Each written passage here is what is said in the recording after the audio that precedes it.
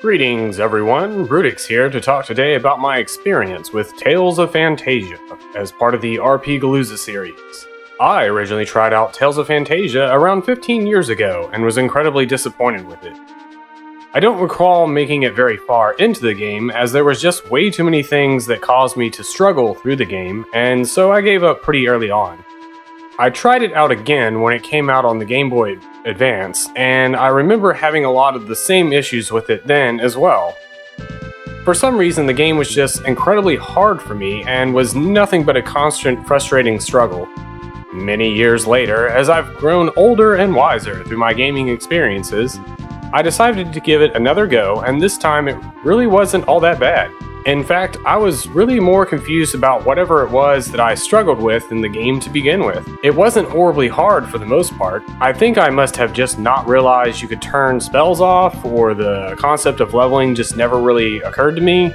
Either way, my experience through the game for RPGalooza was a fairly enjoyable one. It wasn't anything amazing, and there were definitely a few really annoying areas to work through, but for the most part, I never felt like rage quitting the game or quitting out of boredom, so I'd say overall I enjoyed the experience. Having said that though, I still give the game a 2 out of 5 for RPGalooza. There was a lot about the game that was pretty plain and generic. The story wasn't super gripping. I never really felt like I was being thrown through a bunch of plot twists as with many of the other Tales games. The battles were pretty archaic feeling, and while I still enjoyed doing them, they did kind of drag on after a while.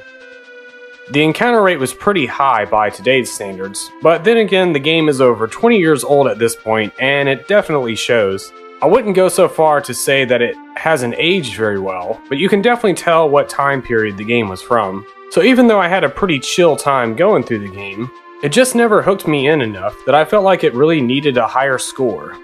I'm glad I played through it, but only because of the fact that I had let it defeat me in the past so I had more of a personal reason for playing through the game that really wouldn't cause me to want to suggest the game to someone else. While it was definitely not a bad game, it just didn't have anything really special to it at all.